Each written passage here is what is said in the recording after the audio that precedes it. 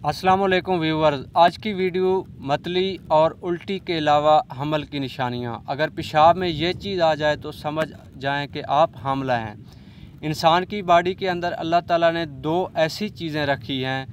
Number एक, खून और नंबर दो, पेशाब। खून और पेशाब के ज़रिए इंसान की बॉडी के अंदर होने वाली हर तब्दीली या बीमारी का पता चलाया जा सकता है। जो भी बीमारी या तब्दीली आती है, सबसे पहले इसका पता खून लैक खून के ज़रिए चलता है, उसके बाद पेशाब के ज़रिए। खून के टेस्ट में किसी भी बीमारी या तब्दीली का पता फ़ौर लगाया जा सकता है, लेकिन इसी बीमारी या तब्दीली का पता पेशाब के ज़रिए कम अज़ कम 12 या 24 घंटे के बाद लगाया जा सकता है। एक वक्त था कि जब किसी बीमारी या प्रेगनेंसी की तशखीस के लिए आपको किसी लेबार्ट्री या डॉक्टर या डॉक्टर के पास जाना पड़ता था। यानी किसी अस्पताल वगैरह में जाना पड़ता था। लेकिन आजकल ऐसी बहुत सारी किट्स आ गई हैं, जिनके ज़रिए आप घर में बैठकर खून और पेशाब दोनों के टेस्ट कर सकते हैं। और घर में blood pressure, sugar, ovulation, pregnancy, sperm test भी कर सकते हैं। हमल की अलामत आप सबको पता है, हमल की कुछ अलामत जो कि कामन हैं और हर औरत में प्रेग्नेंट होने पर पाई जाती हैं। जैसे कि पीरियड का रुक जाना, कै मतली, उल्टी, सुबह का बुखार खाने पीने की चीज़ों से नफ़रत या मोहब्बत और इसी तरह बू का एहसास वगैरह। इनमें कुछ अलामत हर औरत में पाई जाती हैं, लेकिन कुछ ऐसी हैं जो कि हर औरत में नहीं पाई जाती हैं। टेस्ट वो वाद चीज़ है जिसके ज़रिए आप अर्ली दिनों में ही पेशाब या खून के टेस्ट घर में बैठकर पता लगा सकती हैं कि आप प्रेग्नेंट हैं या फिर नहीं। प्रेग्नेंट होने के लिए आपकी दो चीज़ों पीरियड और ओवोलेशन का बहुत अहम किरदार होता है। ओवोलेशन हमेशा पीरियड टू पीरियड के दरमियान वाले दिनों में होती है। जब आपकी ओवोलेशन होने वाली हो तो उस टाइम एक हार्मोन जिसको हम एलएच बोलते हैं एलएच के ज़रिए ओवोलेशन का पता चलाया जा सकता है कि आपकी ओवोलेशन हो रही है या होने वाली है। जब कोई प्रेगनेंसी की टेस्ट के लिए जो हार्मोन खून और पेशाब में बनना और शामिल होना शुरू हो जाता है, उसको एच सी जी हारमोन कहा जाता है।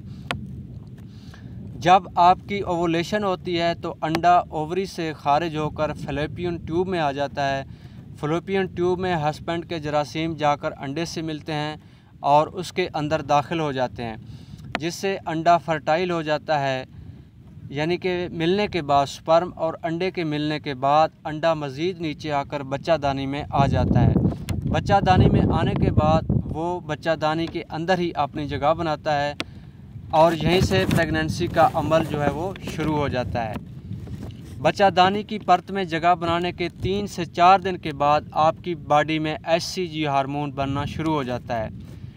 छः या सात दिन के बाद खून और पेशाब में शामिल होना शुरू हो जाता है। आठ से बारह दिन के बाद एच सी जी बाकायदा खून और पेशाब के टेस्ट के ज़रिए ज़ाहिर होना शुरू हो जाता है।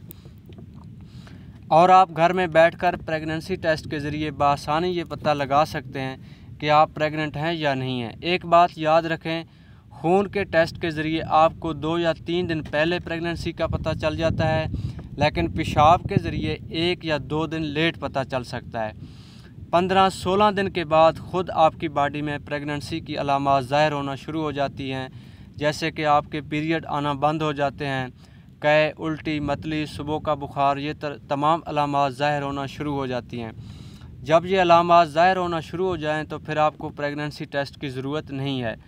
अगर आप फिर भी टेस्ट कर लें तो कोई मसला नहीं।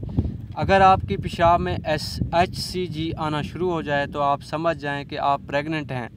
लेकिन आखिर में यही कहूँगा कि बाज़ अवत ऐसे भी होता है कि जो खुराक हम खाते हैं या मेडिसन खाते हैं, इसकी वजह से भी हमारे पीरियड लेट हो सकते हैं, जिनको हम बाज़ टाइम प्रेगनेंसी समझ लेते हैं।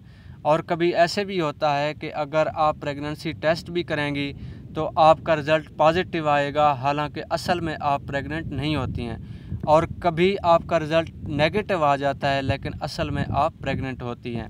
उम्मीद करता हूँ आज की वीडियो आपको पसंद आई होगी। जाने से पहले लाइक ज़रूर कर देना और अगर सब्सक्राइब नहीं किया तो सब्सक्राइब भी कर दें, ताकि हमारी हर नई आने वाली वीडियो जो है वो आपको सबसे पहले मिल सके।